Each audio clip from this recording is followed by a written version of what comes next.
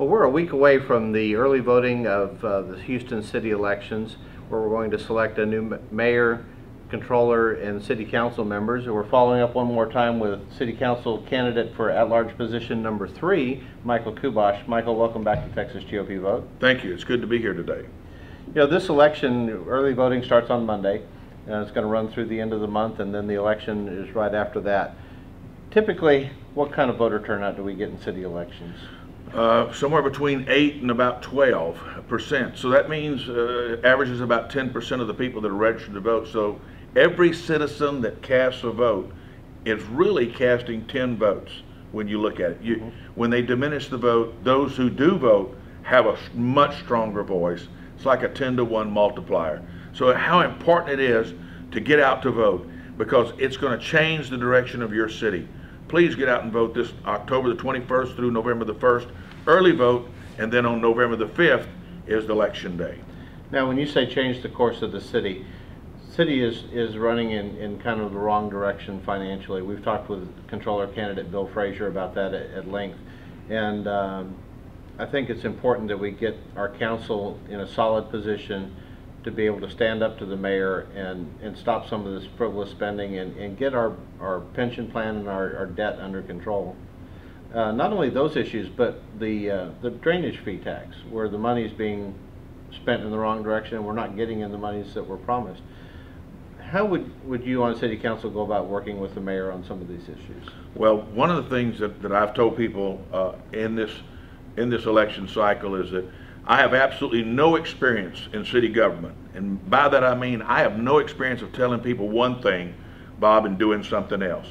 I see that this that this money being spent uh, on Prop One years ago, we called it the rain tax, or uh, and but the money is being used to pay salaries instead of actually doing what it's supposed to do, and that's to repair roads and, and sewers and drainage fees. We have to hold this this government accountable. And, and as a city council member, that's what we have to do. It's more than just saying no on a vote. Mm-hmm. It's it's getting the word out to people what's really going on. We have to we have to sound the alarm. And until until a city council member is able to do that and to shine a light on what's really going on, the people won't know. If, if you just are voting no, it's just not enough. You have to be proactive. You got to do something. You got to get the word out. And every city council meeting, Bob, I've told the people over and over, when you come to City Hall, you won't see me coming in late behind the horseshoe.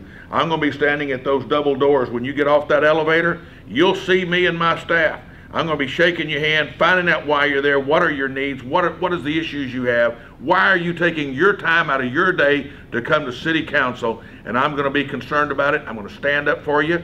I'm going to do everything I can to help you because that's what I do. Now, why do you want this position? What, what is it about this city that, that really drives you to want to be in this position? Bob, I've got I've got 16 grandkids. I got five children, and I'm concerned about the direction this city's going. I've got a lot of property in this city. I'm concerned about the health and the and the welfare of this city. I, I don't want to see us go bankrupt. I don't want to see us go broke. I don't want to see the crime rates go up. I mean, it seems like every day that somebody's either getting shot at a Denny's or, or at a Subway sandwich place, and it just seems it, it's scary, Bob. That, that when we go out to a restaurant, we got to worry about being victimized as a criminal. Uh, and we've got to do something to protect our citizens. The number one function of government is to protect its citizens, not not just from from criminals, but also from those people who would promote these Ponzi schemes where they want you to vote on a big bond and you don't ever know what the money actually went for. We we've got to change this. We've got to get we've got to get some transparency in government, and it's going to take an outsider like me to get on the inside. So that's what I've been telling people. I'm an outsider. Put me on the inside, and I'll show you what's really going on down there at City Hall. Now, you've been talking to people all across the political spectrum on this campaign. Uh, you've met with Republican clubs across town, you've met with union groups across town. What's the reaction like when you're speaking to these people?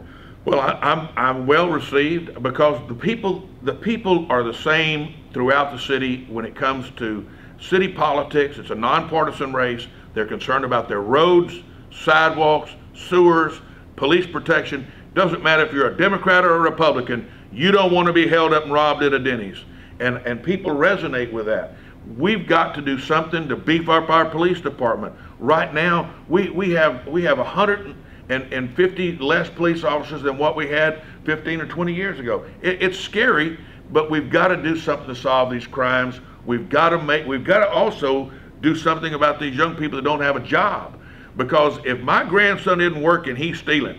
He's either stealing from me because he's not doing anything, or he's out there stealing from somebody in the public.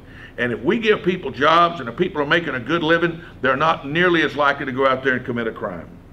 Well, early voting starts Monday. We want to get everybody out there to the vote. And uh, don't forget to bring your photo ID with you, as this is the first election in Texas history where we're actually requiring you to prove that you are who you say you are when you get ready to cast your vote. Michael, thank you for taking the time to explain the issues over these past few weeks to the voters at Texas GOP Vote. And uh, good luck in your election this, this next couple of weeks. Bob, I'm looking forward to serving the people. Thank you. God bless you. Good. You happy with all that? Yes, sir. Anything you want to add, or? No, it's fine.